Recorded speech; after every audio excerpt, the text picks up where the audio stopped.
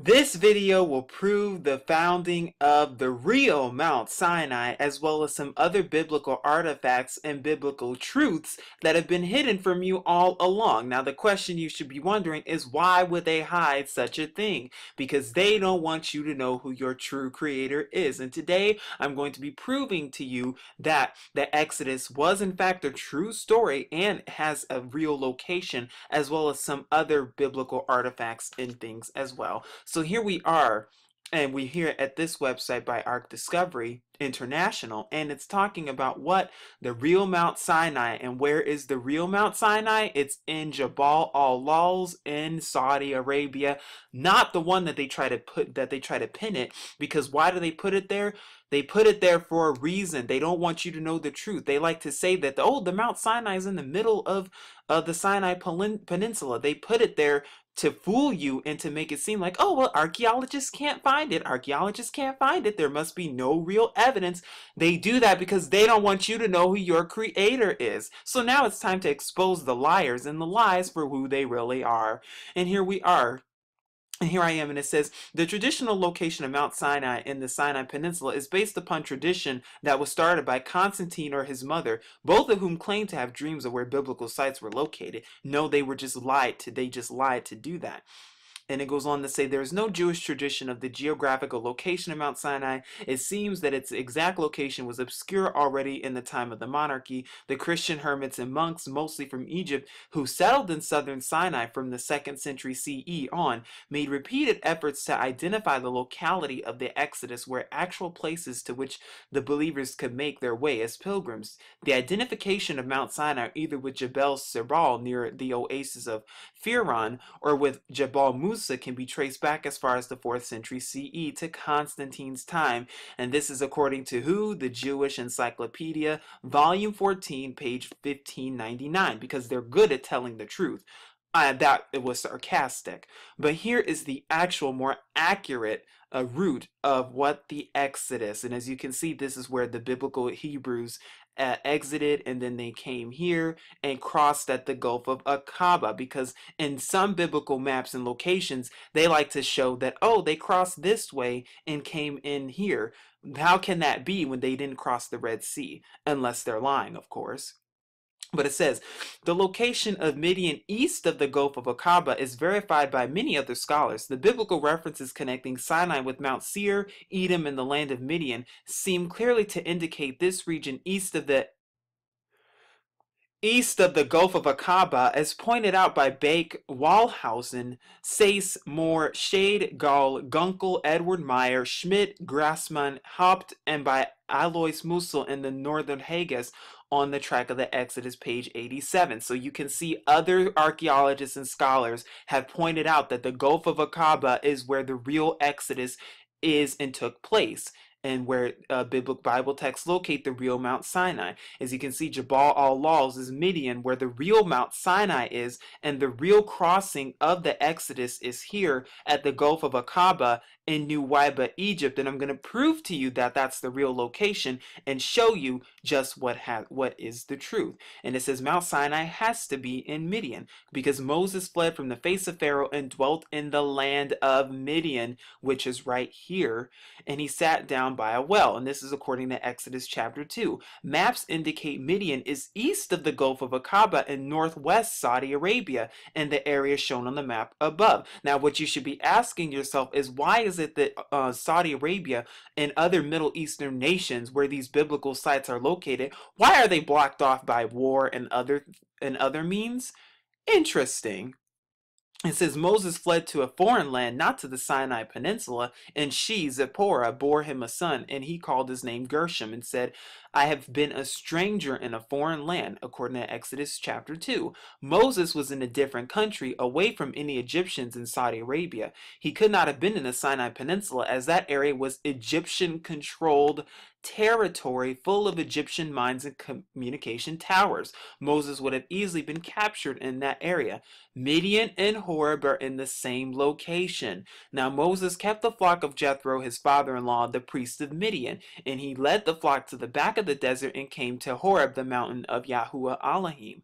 And it says Jethro was the leader of the Midianites who found the air area east of the Gulf of Aqaba in the northwestern regions of the Arabian Desert, according to Britannica. When researching the location of Mount Sinai in Saudi Arabia that Mr. Wyatt proposed, I went to the East Tennessee State University Library and found two extremely detailed maps of Saudi Arabia.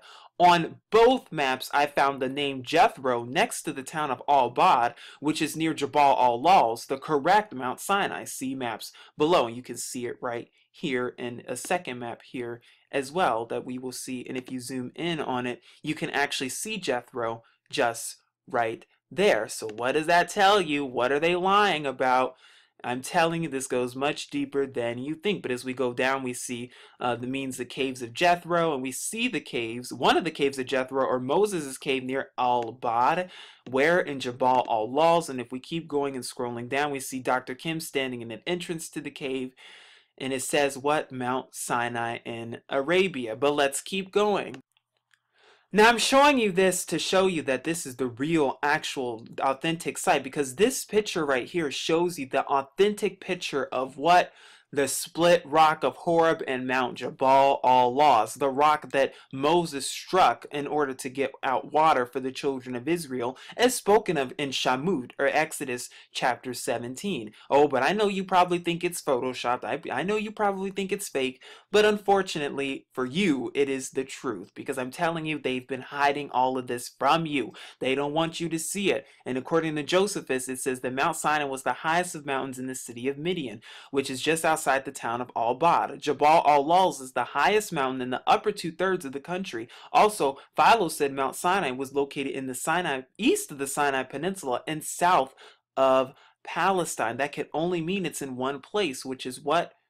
In Saudi Arabia. That's where it is. And you can see the research in the hallowed grounds, and the research goes on from there and the layout of the mountains and the artifacts.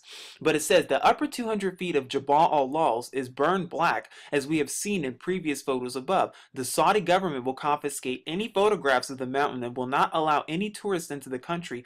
But U.S. government satellite photos and a few private photos smuggled out of the country reveal the secret mountain by its unique blackened peak. Unlike the traditional site, there are thousands of acres in which to encamp at the base of this mountain, while clearly being visible from the mountaintop.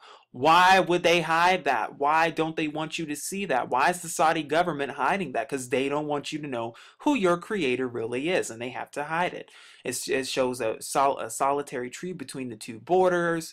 It also shows a guardhouse government sign and fence around the front of Mount Jabal al Lawz and it also shows the altar of the golden calf. And it says the base of which the golden calf altar was placed atop. Notice inscriptions of bulls. This is located in the encampment area out mount sinai in arabia and in midian. Wow. Is this the place where the Aaron built the golden calf, even though they weren't supposed to, during the time that Moses was in Mount Sinai for 40 days and 40 nights? Looks like it. And as you can see, if you get closer, you can see the bulls here, you can see one there, you can see another there. Interesting. And then it says, and even gives um, a key to it. It says, a dozen giant boulders are stacked in the encampment area and reveal 12 ancient Egyptian petroglyphs of bulls. It is believed the golden calf was placed upon these rocks. Large altars are found on the east and west sides of the mountain. And here are some more photos, uh, courtesy Aaron Sin. And it even shows Google as well, and it shows the archaeological area of warning. And of course, they don't want people there, but the government acknowledges archaeological significance. They know the truth, but don't want you to see it. Why? Because they're hiding truth from you. It's time to wake up to the truth. And I know some of you are going to be willfully ignorant of this truth, but he that have an ear, let him hear. So it goes on uh, from there and gives more pictures of actual artifacts. And like I said, I'm going to leave these links below so you can actually see it for yourself. But this shows uh, Dr. Kim next to drawings in the encampment area. And he was a personal physician to the prince in Saudi Arabia and to the king. He lived in Saudi around 15 years. And you see more inscriptions of the actual biblical Exodus. And it even shows the menorah inscription on rocks in Saudi Arabia. It says, in the encampment area, Dr. Kim pointed to the oldest image of the golden oil lampstand ever found. This is where the lampstand was first made, the menorah. and we see it from there and it goes on to talk about more research i highly recommend you all look this stuff up for yourself don't just take my word for it do your own research and come to your own conclusions but i'm even going to leave the links below and show you even more now we're at that same website again, and this talks about the Red Sea crossing. And the reason I'm showing you this is because I want you to see just the proof behind it all. But first, at first it talks about a history of Moses having lived in Egypt as well uh, prior to the Exodus taking place. Now, personally, I believe that Moses was uh, Amin. Amenhotep the fourth, uh, but they say it was Tutmosis the second. It could have been the same person. I do believe that the Exodus did take place in 1446 BC, but of course, that's, you know, up for debate as usual. However, of course, the traditional Mount Sinai, there's no evidence. Why? Because they want you to believe that it was fake. They want you to believe that it didn't take place. They need you to believe that it, oh, it didn't happen.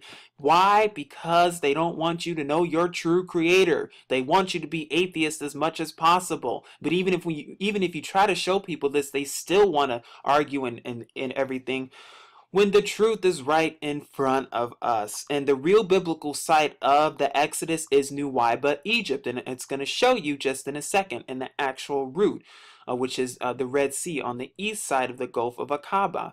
And it goes on to say that the wilderness has them entangled in actual pictures when traveling through the wilderness of the Red Sea. Uh, it, it, talks about this in Exodus chapter 13 and 14. But when you go to the beach where the crossing took place, we're in Nuweiba, Egypt.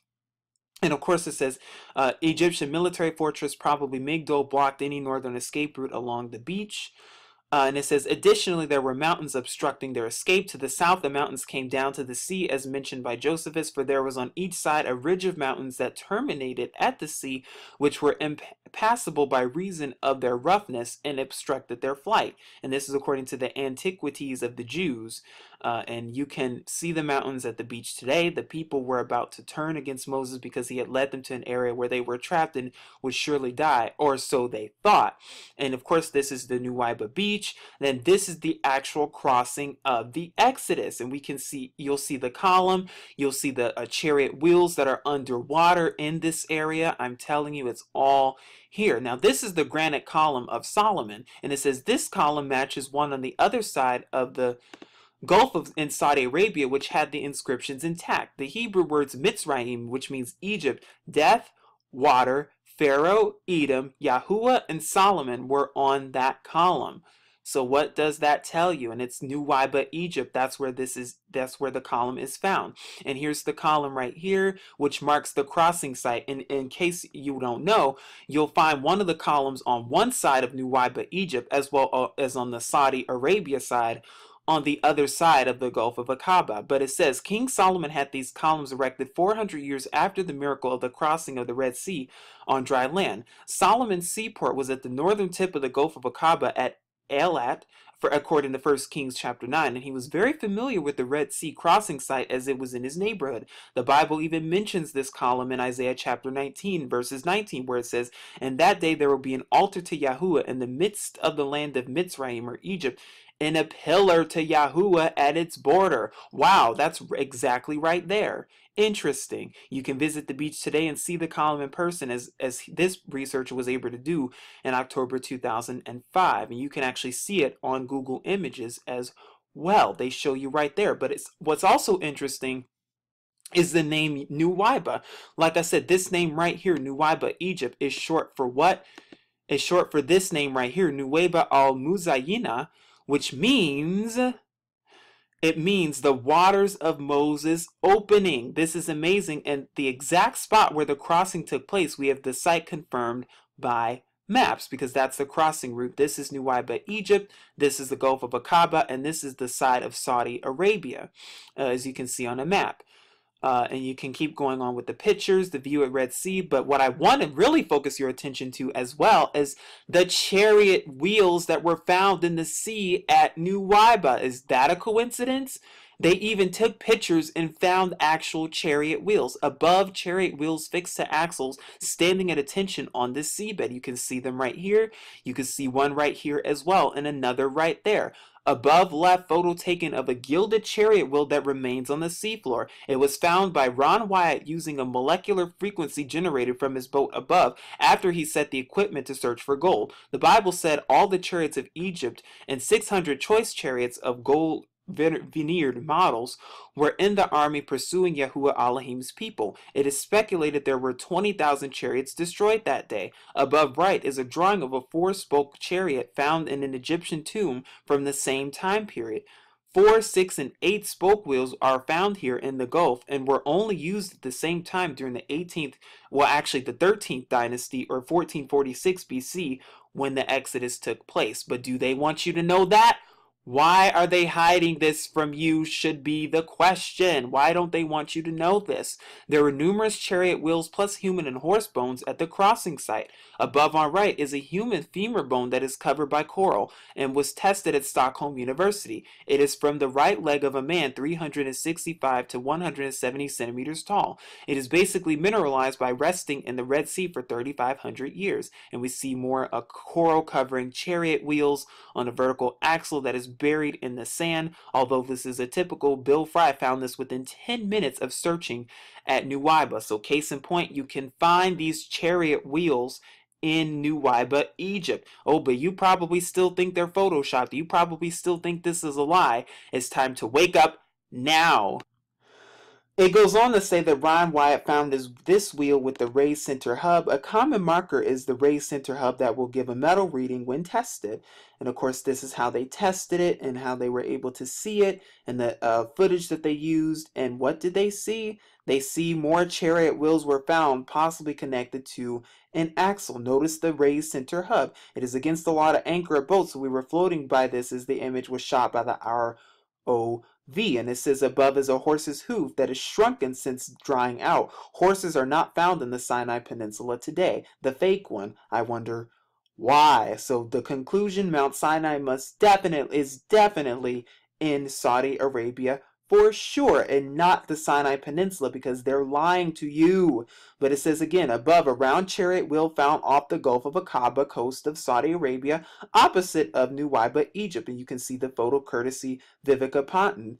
And it goes on, and we see another chariot wheel next to it and it goes on and even has a documentary. I'm going to leave the links below so you can see it for yourself. And please do the research on this on your own and then come to your own conclusions. But for all you skeptics out there, yes, the Exodus is real. It is true. Egyptians have even written about the Exodus, and I'm going to tell you and prove to you just what I'm talking about. I'm going to turn your attention now to what's called the Ipuwer Papyrus, which is an ancient papyrus that was taken from Egypt and actually just so happened to quite well document the Exodus quite well and has many specific mentions of the Exodus. And I'm going to leave the link for this below too. But it says in the early 19th century, a papyrus dating from the end of the Middle Kingdom was found in Egypt. It was taken to the Leiden Museum in Holland and interpreted by A.H. Gardiner in 1909. The complete papyrus can be found in the book uh, Admo Admonitions of an Egyptian from a Hieratic Papyrus in Leiden. The papyrus describes violent upheavals in Egypt, starvation, drought, escape of slaves with the wealth of the Egyptians, and death throughout the land. The papyrus was written by an Egyptian named Ipuwer and appears to be an eyewitnessing account of the effects of the Exodus plagues from the perspective of an average Egyptian. Below are excerpts from the papyrus together with their parallels in the book of Exodus. And if you want a, a lengthier discussion of the papyrus and the historical background of the Exodus, see Jewish Action Spring 1995 article by Brad Aronson entitled When Was the Exodus? Of course, be very careful because you know, so-called Jews, they do lie because the real Jews are so-called black people. But anyway, let's keep going. It says, Ipuwer Papyrus, Leiden 344. It says, according to 2, verse 5 and 6, plague is throughout the land, blood is everywhere. Uh, 210, river, the river is blood. Men shrink from uh, tasting human beings and thirst after water. That is our water. That is our happiness. What shall we do in respect thereof? All is ruin, which happens to match a bunch of what the Torah says in Exodus or Shamut chapter 7 verses 20 to 24 where it says all of the rivers of the water returned to blood. There was blood throughout all the land of Egypt and the river stank and all the Egyptians dug around the water for river to drink for they could not drink of the water of the river. And you still think that this is a fake? You better wake up. But then, like I said, you can match it from um, in the Torah and what Exodus says, and here's chapters 9 and 10. Uh, but it goes on to say, for in the Ipuwer papyrus, forsooth, gates, columns, and walls are consumed by fire. Lower Egypt weeps, the entire palace is without its revenues. To it belong by right wheat and barley, geese and fish. Forsooth, grain has perished on every side. Forsooth, they that has perished which was yesterday seen. The land is left over to its weariness like the cutting of flax. Then it says, All animals their hearts weep, cattle moan. Behold, cattle are left to stray, and there is none to gather them together. And this is, of course, the uh, equivalent in Shamut uh, in Exodus chapter 9, where it says, The hand of Yahuwah is upon thy cattle which is in the field, and there shall be a very grievous sickness Gather thy cattle and all that thou hast in the field. And he that did not fear the word of Yahuwah left his servants and cattle in the field. The land is without light, according to the uh, Ipuwer Papyrus and according to the Torah in Shamut chapter 10, verses 22. And there was a thick darkness in all the land of Mitzrayim or Egypt. And it goes on to say, Forsooth, the children of princes are dashed against the walls. Forsooth, the children of princes are cast out in the streets. The prison is ruined. He who places his brother in the ground is everywhere. It is groaning throughout the land, mingled with lamentations. And according to Shamut, or Exodus chapter 12, it says, And it came to pass that at midnight Yahuwah smote all the firstborn in the land of Mitzrayim, or Egypt, from the firstborn of Pharaoh that sat on his throne to the firstborn of the captive that was in the prison. There was not a house where there was not one dead. There was a great cry in Egypt, just like as the papyrus says, there was groaning throughout the land. And mind you, this Ipuwer papyrus, this is an actual document. It's real. It is a real document. This is by this is by an actual Egyptian who had firsthand account of the Exodus. So we know it's not a lie, it's the truth. It actually happened. But it goes on to say in the Ipuwer Papyrus, Behold, the fire has mounted up on high, its burning goes forth against the enemies of the land. And then in uh, Exodus chapter 13, verses 21, it says, By day in a pillar of cloud to lead them the way, and by night in a pillar of fire to give them light to go by day and night. Wow. And then it says gold and lapis lazuli, silver and malachite, carnelian and bronze are fastened on the neck of female slaves. And then this says in Exodus chapter 12, verses 35 to 36, and they requested from the Egyptians silver and gold articles and clothing, and Yahuwah Elohim made the Egyptians favor them, and they granted their request. The Israelites thus drained Egypt of its wealth. Here we are at another source, and this is according to the Messianic Literary Corner, where it also proves ancient Egyptian chariots found in the Red Sea. And where were they found? In the Gulf of Aqaba. And the reason I'm sharing this with you is so that you can see and do the research on your own. But it says the Hebrew exodus from Egypt is in scope the most miraculous event ever to be recorded by man. Its historicity, though has been challenged and reduced to mere mythology by many religious theologians or atheists and biblical archaeologists until recently. In 1978, Ron Wyatt, a biblical archaeologist without formal training, confounded the opponents of biblical historical accuracy by discovering the true Exodus Red Sea crossing in the Gulf of Aqaba at Nuweiba, Egypt, Sinai Peninsula, and it's been validated with the discovery of remains of ancient Egyptian army chariots lying at the bottom of an underwater land bridge connecting Sinai to Saudi Arabia. Many coral encrusted chariot wheels and a gilded four spoke chariot wheel were found. Fossilized human and horse bones were also recovered, but carbon dating was not possible. At least that's what they want us to, to believe. And you can you can find links here more of the discovery and the research and videos as well. And like I said, come to your own conclusions. But like I said, they found this stuff, folks. This stuff is no longer a secret. They found the real the real authentic Mount Sinai. They found the real authentic everything. They found it all in New Nuweiba, Egypt. It's right there. Just go search it for yourself. Do your own research. They found the real Red Sea. They found the real crossing. They found all of this stuff. But that's not all they found because I'm going to take you to another source that also talks about what else did they find and why it relates to biblical stories and prophecies as well. Now, this rock that you're looking at is the rock that's called Famine Stele. And what it means is that this rock details in Egypt, and this is found in the island of Sehel in Egypt, the rock of the seven year famine that was spoken of in the book of Genesis during the time of Joseph. And this is the actual inscription of the rock and how it looks. And later on, I'm going to take you to the actual, to what it says. But I want you to see just for yourself just how they're finding real biblical artifacts and that this stuff, no, it's not photoshopped. No, it's not a lie. But you could keep sitting there thinking it is, even though the truth says otherwise. Now this gives partial text of what they found on the island of Sehel, which is the famine stele, or the rock that they found that proves that there was in fact a seven-year famine during the time of Egypt and during the time of Joseph. But it says, during the reign of uh, Djoser, the third dynasty, a terrible drought lasted for seven years. And it says, I was mourning, I was in mourning on my throne. Those of the palace were in grief because Hapi had failed to come in time.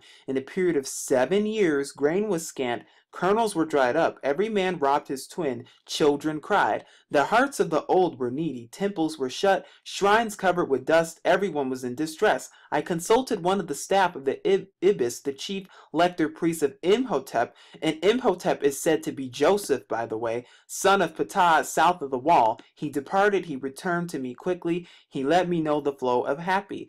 Imhotep, or Joseph, a high official and Renaissance man, revealed to the king that the Nile had its origins in a land consecrated to Khnum, and gave an account of the building materials available at Elephantine. Khnum appeared to Djoser in a dream with the promise to end the drought and describe how a temple should be built. Grateful, jo Djoser reestablished the cult of Khnum at Elephantine, and we know the story the story of Genesis where of course, the Pharaoh has a dream and, and doesn't know how to interpret it. So then Joseph interprets and says that what would happen? That there would be seven years of plentiful and seven years worth of a famine. Wow, sounds exactly just like this. And of course, this is the partial translation of the stela text and in Imhotep or Joseph's account of Elatines, its gods and minerals.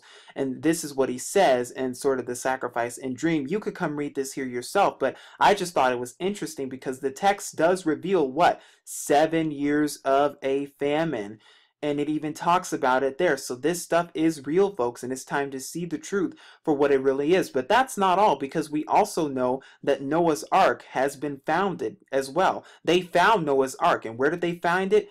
In Mount Ararat in present day Turkey. You can also do research on that on your own. But I'm telling you this to tell you that yes, the Bible is true. The word of Yahuwah is true. Now they've been lying to you for so long and making you think that oh, oh, they, there's no archaeological evidence because the reason there's no archaeological evidence according to them is because they're the ones hiding it. Just because it's hidden doesn't mean it's not there. Just because it's hiding doesn't mean it doesn't exist, because it does, and Yahuwah's word is true. But like I said, I hope that when I leave these links, you will do your own research on your own and come to your own conclusions and not believe everything I say, but actually do the research for yourself and really discover this stuff for yourself, folks, because you'll see just how interesting it really is. But if you already haven't, please seek Yahuwah and his true son, Yahusha, and really seek the word of Yahuwah on your own so that you too can see the truth for what it really is. This is Truth Unveiled.